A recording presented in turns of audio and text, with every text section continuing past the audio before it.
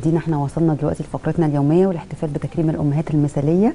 النهارده آخر عمره معانا من عمرات الأم المثالية وبصراحة مش قادرة أوصف لكم قد إيه السعادة اللي إحنا كنا فيها وإحنا كل يوم بنشوف أم مثالية ونكرمها ونشوف الفرحة في عينيها.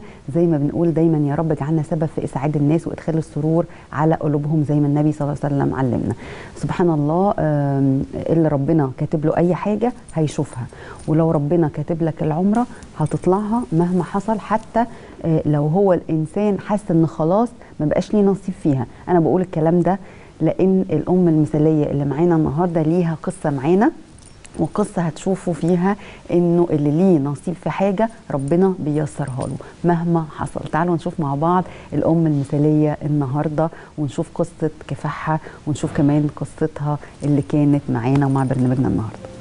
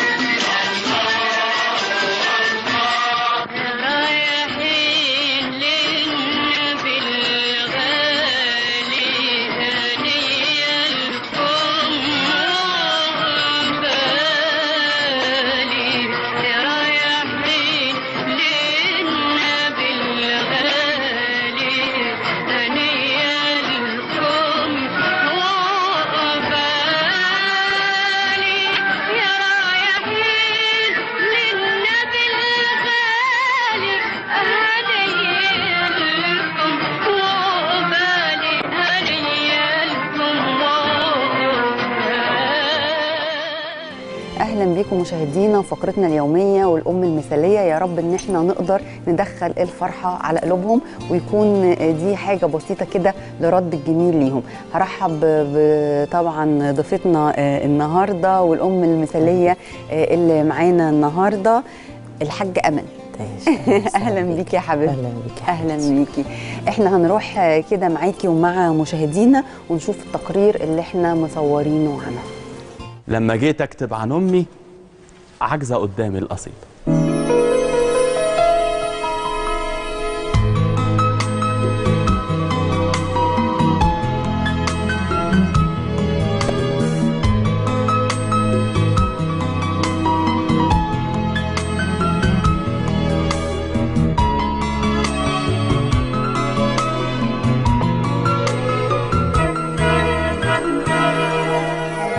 أنا أمل محمد كامل.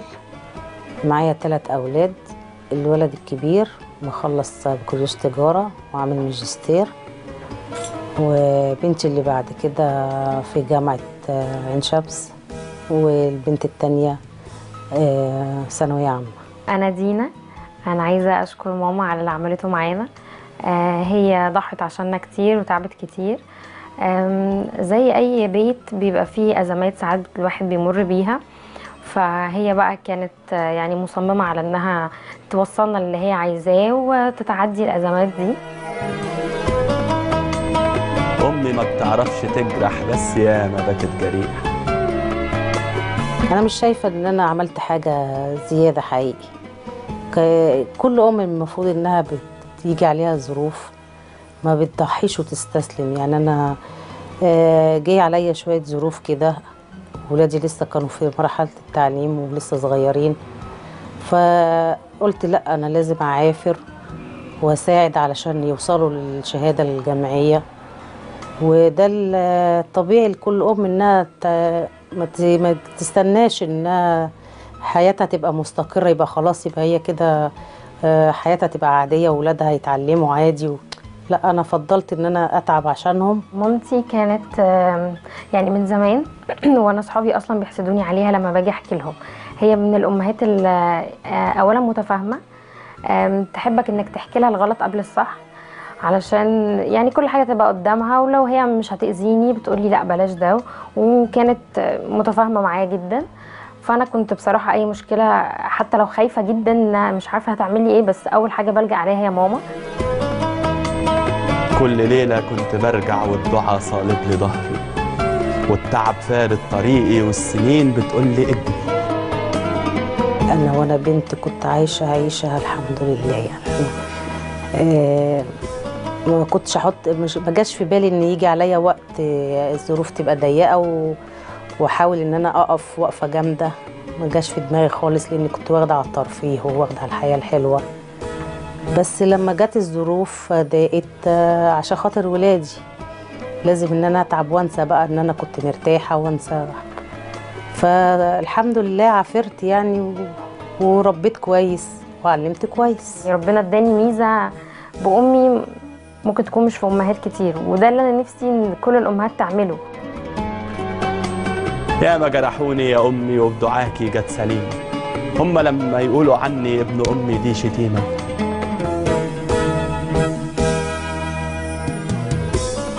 في أول مراحل التعليم كانت الظروف المادية بدأت تتأثر وبعدين أنا صممت على إنهم يتعلموا.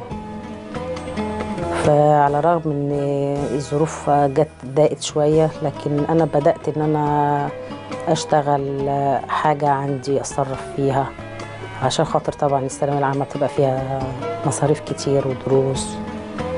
فما همنيش بقى أي حاجة أتصرف فيها أو أو أشتغل.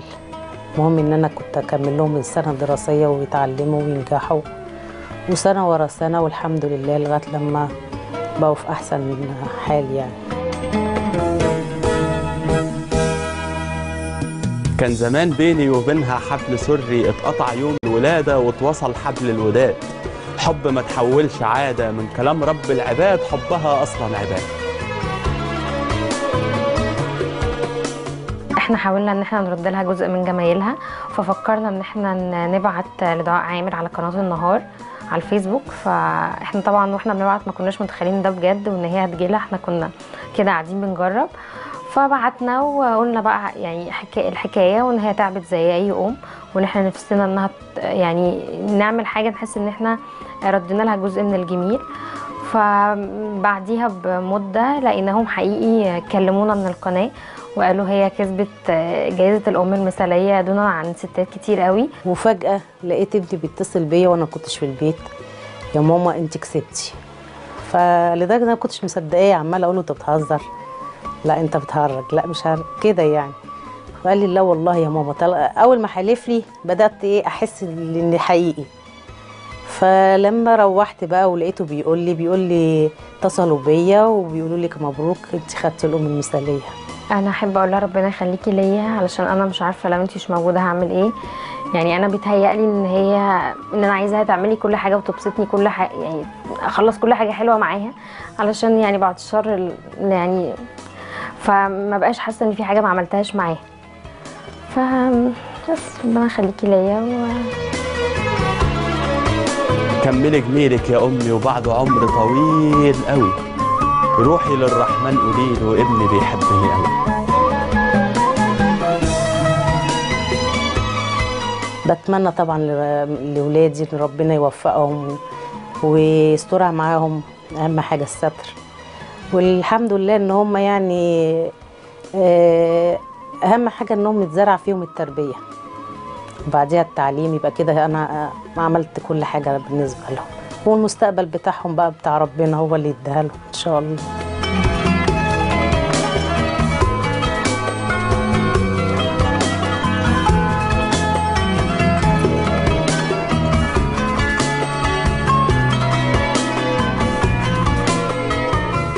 لما جيت أكتب عن أمي عاجزة قدامي القصيد وبنرحب طبعا بضيفتنا الإعلامية رباب النعيمي. أهلا بيك يا رباب. ورباب مقدمة جوائز الأمهات المثاليات السلام عليكم. عليكم السلام. حاجة أمل؟ مبروك. الله يبارك. في حضرتك ازيك انت. عملتي لنا الدوشة. ألف خير. عاملة إيه؟ أهلا رباب. أهلا يا. حبيبتي. ما شاء الله عليكي. إحنا هنحكي للمشاهدين انت عملت لنا إيه؟ إحنا كانوا الأول 10 اولا لازم. تعترف بغلطها. أيوه. الغلطانة. آه، بس كان الموقف بالنسبة لي مفاجأة. إزاي يعني يعني أنا ما كنتش متوقعة إن هيحصل إن أنا أطلع طب إحنا نفهم المشاهدين عشان تحكي طيب. التبرير بتاعك آه. إن إحنا كنا مختارينك واحدة من العشر أمهات مثاليات اللي فازوا معانا في برنامجنا آه، بالأم المثالية وكلموكي فريق الأعداد في التليفون آه. وقالوا لك إن عربية آه، تلفزيون النهار هتكون موجودة وهتركبي وتيجي على الاستوديو عشان تصوري معانا أيوة،. أنا ورباب فانت لما شفتي العربية ما رضيتيش تركبي. ليه؟ آه والله. هم اولا تعبوا معايا كتير صراحة. قعدوا يقنعوكي. تعبوا معايا كتير. طب انت ليه ما انت قالوا. لك إن إحنا جايين وجايبين سيارة بنكتك آه. إيه اللي جرى؟ آه هم تعبوا معايا طول النهار وأنا مصممة ان إن مش حقيقي. مش مصدقه مش مصدقه وزاد عليا أكتر إن أنا كنت بنتي الكبيرة معايا فكنت قلقانة إن أنا أخدها معايا. حتى قعدت أقول لها آه. ارجعي.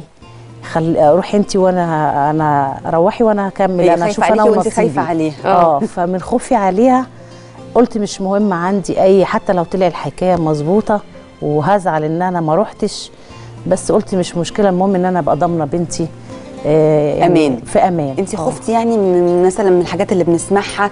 آه آه، يعني أنا خفت بقى ليه؟ لأن في خطف حو- مثلا خطف وحوادث وكلام من ده. وحاجات كده ممكن خفتي من كده. هو ده الخوف اللي جالك؟ أنا خفت على بنتي مش على نفسي أه. أنا كبيري إيه يعني ولا ليه حاجة أنت زي القمر الله أنا مش. مصدقة عندك بنت آه، أنا عندي اموره كده عندي الحمد لله ثلاثة ما وهي. الوسط يعني ما شاء الله بعدين تاني يوم لقينا وإحنا بنصور أنا ورباب آه. إن أنت جيتي على باب المدينة وبتكلمي آه. فريق الأعداد في التليفون أيوة. والأمن بتاع بوابة المدينة بيقول إن أنت واقفة بره وان عشان تتأكدي إن الحكاية صح ولا لأ. آه أنا أنا جيت بنفسي اتأكدتي عملتي أنا إيه جيت بنفسي بقى ولقيت إن فعلا الكلام صح آه، جوه نفسي زعلت وفي نفس الوقت قلت مش مشكلة أنا كنت أهم بنتي إن أنا ما أحطهاش في في موقف أنا مش هعرف أعمل إيه. وإحنا كنا. خلاص خدنا العشرة. آه كنا خلاص خدنا كنت حطينا. تانية من أيوة صح. الأمهات بدالك وبعدين آه عملتي إيه؟ دعيتي؟ قلتي حاجة؟ والله أنا سلمت أمري لله. آه. قلت يا رب انت لو كاتبها لي هتجيبها لي. لو مش كاتبها خلاص. هي بنتي معايا. يا حبيبتي. بعدين إيه اللي حصل؟ فزعلت شوية مع نفسي بقى عشان أنا طبعا يعني إيه الضغط بقى والحاجات ديت. بس ما حاولتش إن أنا أبين لاولادي آه. بينت لهم إن عادي وده نصيب ومش مشكلة و... فلقيت بنتي بقى مع نفسها كده راحت على الموبايل حاولت توصل مش عارفة الإيميل والحاجات ال آه أنا مش قادرة بقى. لا براحتك. فالمهم حاولت توصل يعني إزاي تح... إحنا مش عايزينك تعيطي يا زينب لا لا أنا. بحاول. لا هي بتعيط من الفرح. من الفرح. آه طبعا من الفرحه إن أنا الحمد لله إن ربنا يكتبها لي يعني. إن أنا كمان معاكم يعني وشفتكم يا حبيبتي. نورتيني. الله يخليكي. فلقيت بنتي بقى طول الليل بتعافر بقى.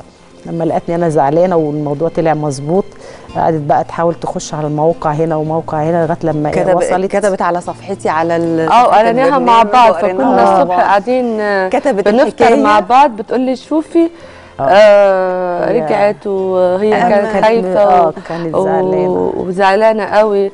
فهنعمل إيه؟ نحن خدنا العشرة. فقلت إيه أنا؟ آه فروب قالت لا خلاص مش مهم يعني ما 10 يبقوا 11 مش مشكلة ناخدها تاني. الله يخليك. سبحان الله. عشان انت دعيتي. آه. أكيد دعائك رح الله يستجيب بعد كده بقوا يخليكي والله 12. ربنا ويزود حسناتك يا رب. حرام عليك. ده أنا حافظ مصر كلها. يا رب. ربنا يا رب، دايما الله. يقدرني يا. رب. يقدرك دايما للخير الله يقدرني. ما اقولكيش يعني أي واحد بت- بتعملي لي حاجة زي كده أنا لو أقول لك اللي أنا حاسة بيه لو معايا أنا مش هبخل. يا حبيبتي. لأن السعادة و يعني حاجات كتيرة ما تس... ما تسواش الدنيا كلها. ما انت لما انت في النفسية دي أكيد حيكون في ناس كتير زيك. زي ما انت ربنا مأمنة فيه وانت دائما مسلمة ربك يعني أمرك لربك. أكيد ربنا حيساعدك. الحمد لله. الواحد طالما بيقول يا رب يا رب. و... وبما يرضي الله هتلاقي ربنا واقف جنبه وحقق له اللي هو يتمناه. وركبت العربية من غير خوف؟ النهارده بقى.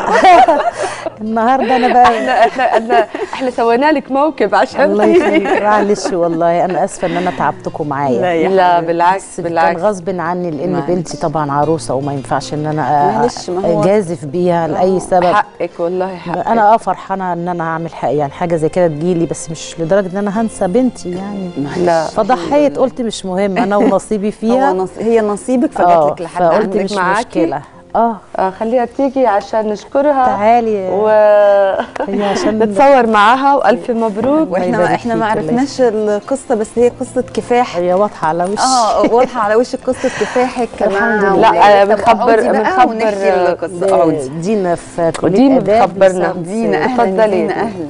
دينا بتعيطي في كمان. اللغات. انت بتعيطي انت لازم تقوي أمك. اتفضلي تعالي يا دينا.